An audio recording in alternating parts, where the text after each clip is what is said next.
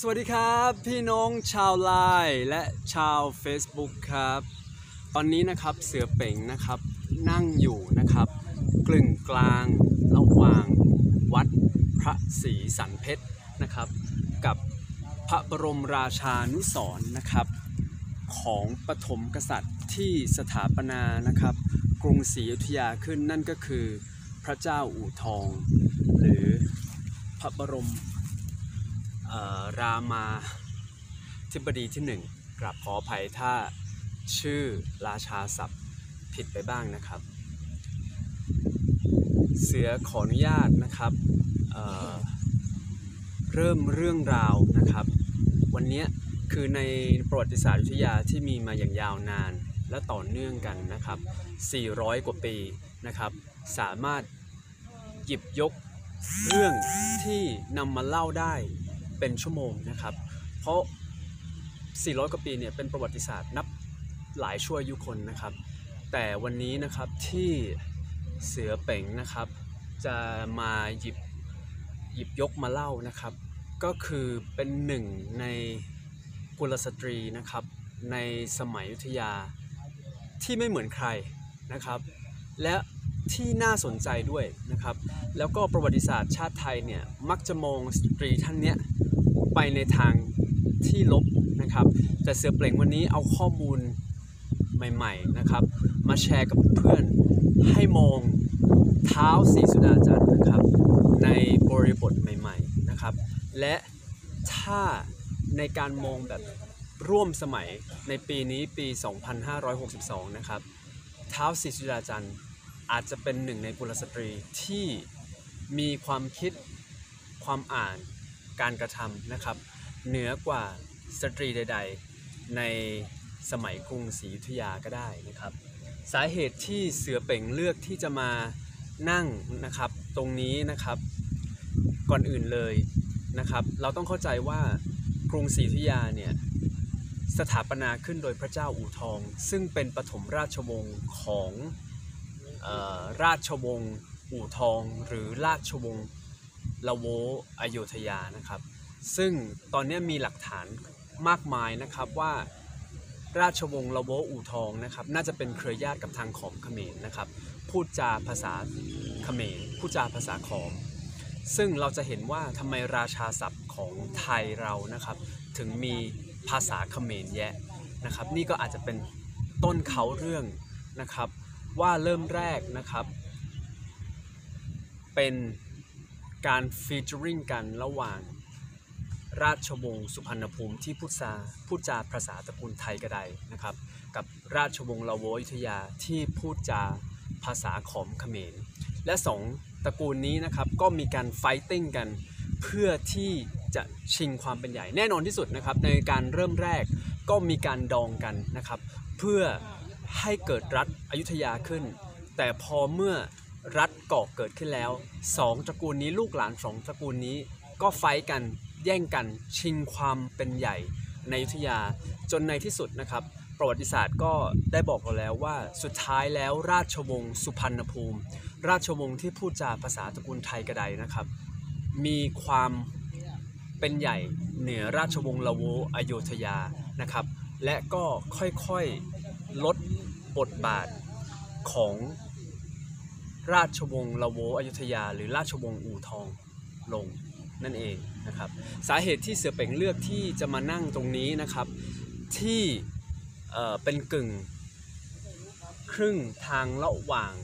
พระบรมราชานุสรพระเจ้าอู่ทอง กับวัดพระศรีสันเพชรนี่ เพราะว่านะครับรูปแบบนะครับวัดพระศรีสันเพชรนี่คือเป็นวัดเเป็นวัดอารามหลวง เหมือนวัดพระแก้วนะครับ ที่อยู่ในเขตพระบรมมหาราชวัง หรือพระที่นั่งดุสิตมหาปราสาทในสมัยปัจจุบันนะครับ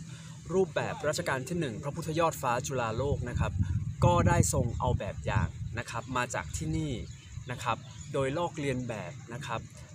วัดพระศรีสันเพชรนะครับ ที่เราเห็นอยู่ข้างหลังที่มีทรงเจดีย์ลังกา 3 องค์ เรียงอยู่นะครับ ใครมาที่ยาผมมั่นใจว่าต้องเคยมาที่นี่แล้วเพราะเป็นแลนด์มาร์คที่สำคัญนี่แหละครับรัชกาลที่ 1 ก็ได้เอารูปแบบวัดที่อยู่ข้างๆที่อยู่ข้างๆพระราชวังมา เป็นต้นแบบนะครับ มาต่อเนื่องเข้าสู่ยุคสมัยของกรุงรัตนโกสินทร์นะครับผม คราวนี้เองนะครับ สาเหตุที่เรามาเริ่มตรงจุดนี้นะครับ เพราะว่าจุดนี้นะครับ ตรงที่ พระบรมราชานุสรพระเจ้าอู่ทองตั้งอยู่นะครับ มีความเชื่อกันว่าน่าจะเป็นที่พำนักเก่านะครับของพระเจ้าอู่ทองนะครับ ก่อนที่จะมีการสถาปนากรุงศรีอยุธยาขึ้น และต่อมานะครับ ก็ได้สร้างบริเวณนี้เป็นพระบรมมหาราชวังในสมัยอยุธยานะครับผม คราวนี้ถ้า เรามาคุยเรื่องเท้าสีสุดาจันทร์นะครับสองเหตุผลหลักๆนะครับ ในในประวัติศาสตร์นะครับทำไมนะครับคนถึงมองว่าผู้หญิงคนนี้ชั่วช้าเลวซามนะครับในประวัติศาสตร์ เพราะว่าหนึ่งเท้าสีสุดาจันทร์นะครับได้ลอบวางยาพิษนะครับ แด่พระสวามีของตนเองนะครับ พระสวามีของตนเองก็คือพระชัยราชานั่นเอง และต่อมานะครับตามหลักฐานของพงศาวดารนะครับ ก็ได้มีการเขียนบันทึกว่าเท้าศรีสุดาจันทร์ได้นะครับ ได้วางยาพิษ แด่พระเจ้าฟ้านะครับ ซึ่ง เป็นบุตรนะครับ ตอนนี้มันมีการถกเถียงกันว่าเป็นบุตรของเท้าวศรีสุดาจันทร์เอง หรือว่าเป็นบุตรของพระสวามีที่มีกับสนมท่านอื่นนะครับ ประวัติศาสตร์นะครับ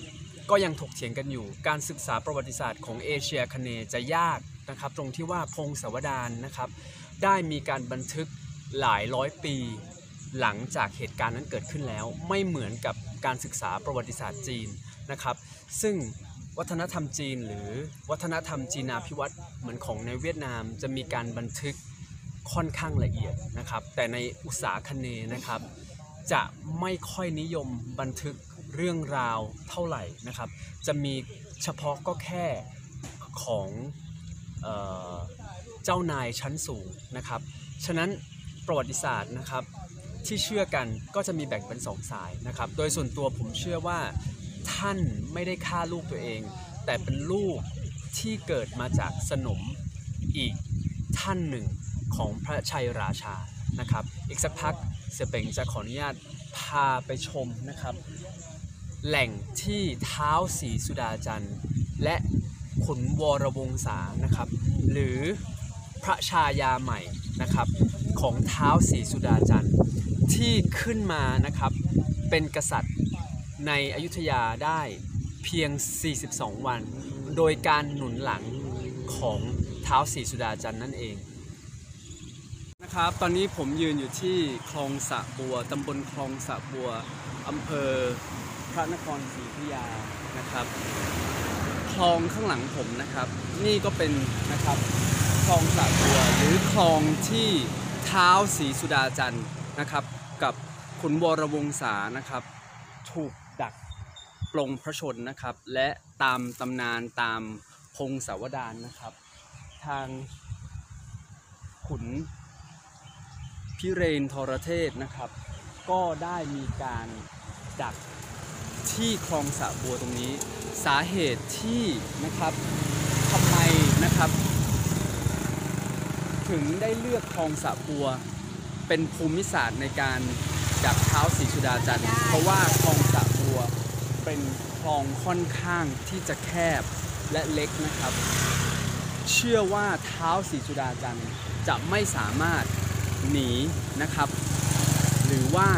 หาที่ช่วยจากพระบรมมหาราชวังได้นะครับ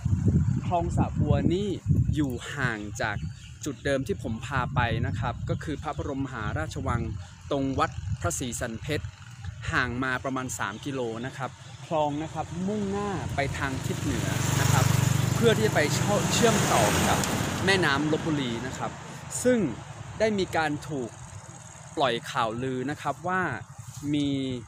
ช้างเผือกจำนวนมากนะครับทำให้ขุนวรวงศาเพื่อต้องการที่จะสร้างบารมีให้ตัวเองนะครับ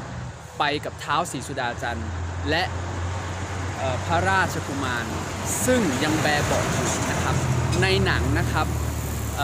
เล่นโดยนะครับขวัญใจของผมตลอดการใหม่เจริญกุละนะครับ ซึ่งนะครับ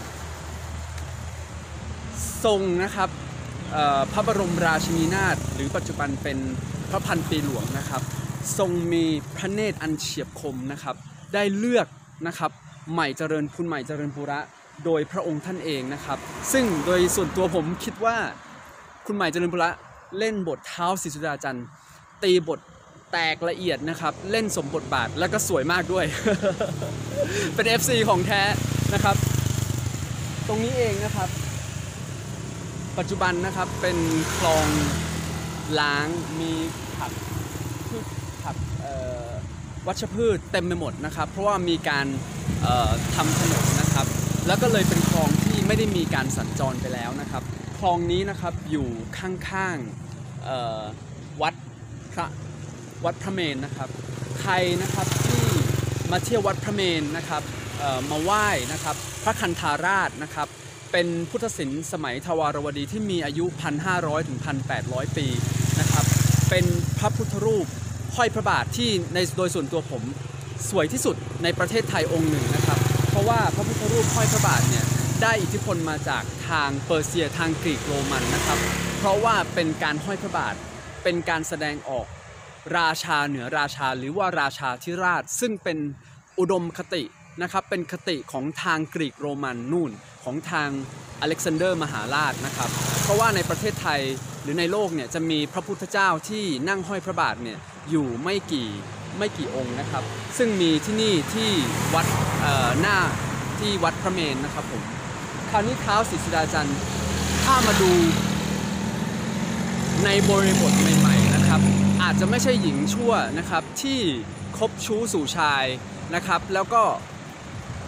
ต้องการอำนาจโดยทำทุกสิ่งทุกอย่างรวมถึงกระทั่งฆ่า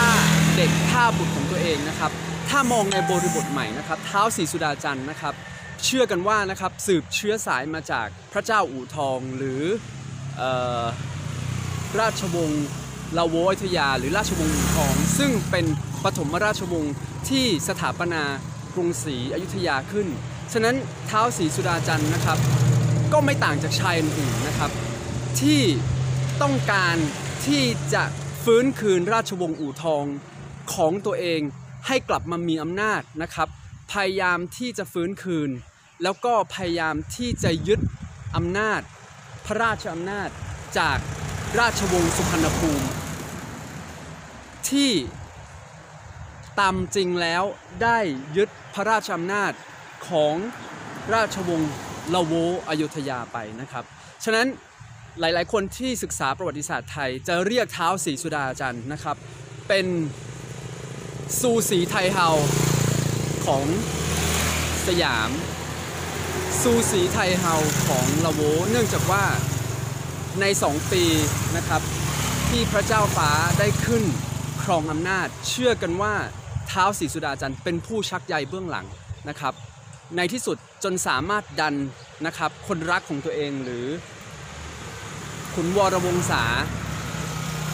พันบุตรศรีเทพนะครับ ให้มาเป็นกษัตริย์ได้ถึง 42 วัน โดยตัวเองขึ้นมาเป็นแม่อยู่หัว และเป็นแม่อยู่หัวนะครับ จักรพรรดินี